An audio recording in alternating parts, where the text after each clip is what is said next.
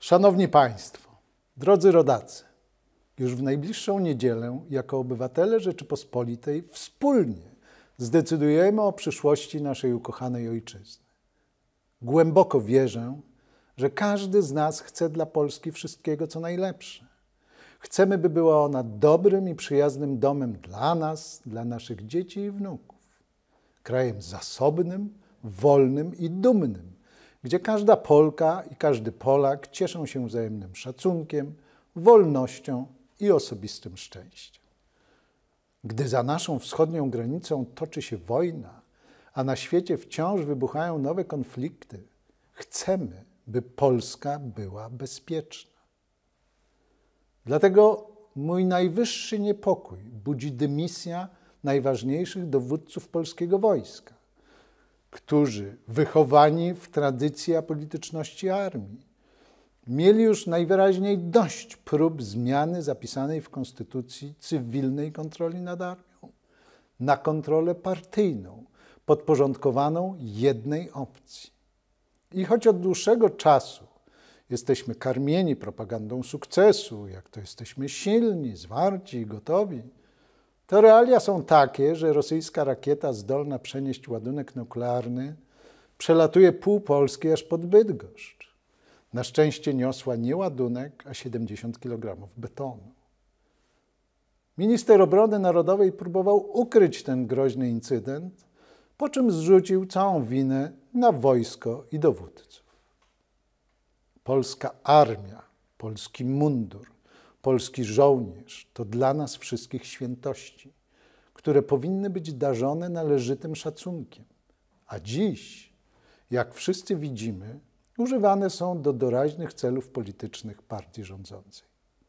Trudno się więc dziwić, że wysocy rangą dowódcy mieli tego po prostu dość. I tak jest nie tylko z wojskiem.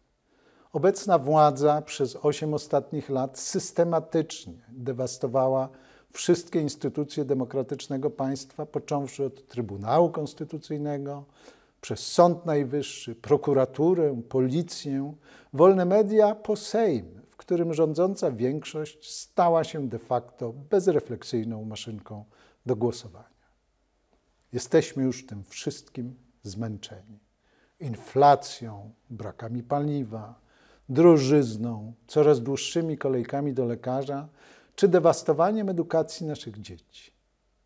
Widać wyraźnie, że niemal wszystko, czego się ta władza nie dotknie, to psuje. Tak dalej być nie może.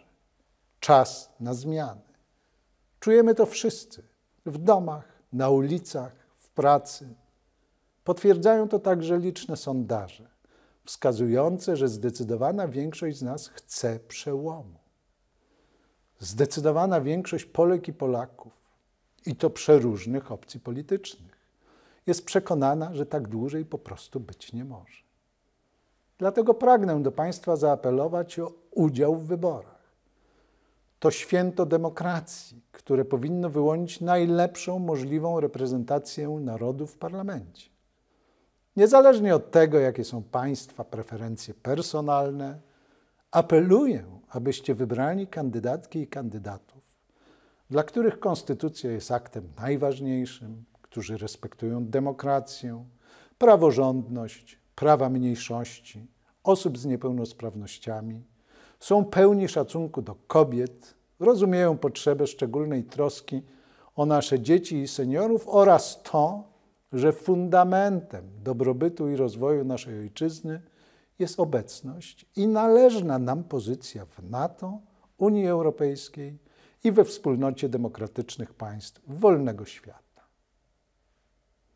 W tę niedzielę idziemy na wybory tak naprawdę także po to, by zdecydować, czy chcemy pozostać w Unii Europejskiej.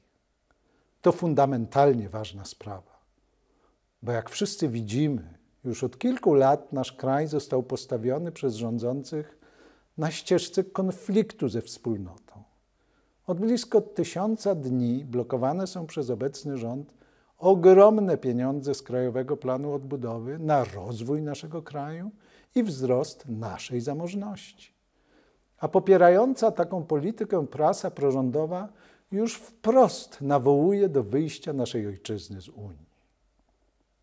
Dlatego te wybory są tak ważne, gdyż zdecydują na lata, czy pozostaniemy w Unii Europejskiej i odzyskamy nasze należne miejsce we wspólnocie Zachodu, czy też coraz mocniej będziemy dążyć w kierunku wschodnich dyktatur z dramatycznymi tego skutkami dla nas wszystkich.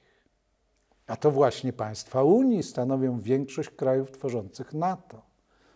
Zatem wyprowadzenie nas z Unii Europejskiej dramatycznie osłabi także nasze bezpieczeństwo, zarówno gospodarcze, jak i militarne. Drodzy rodacy, wolność, bezpieczeństwo i zgoda narodowa nie przyjdą same.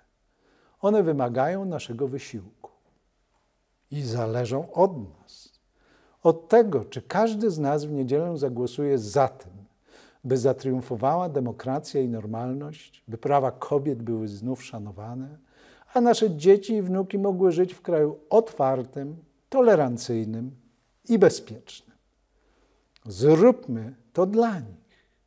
Idźmy na wybory po to, by Polska, nasza ojczyzna, była znów Polską dla wszystkich. Szczęśliwej Polski już czas.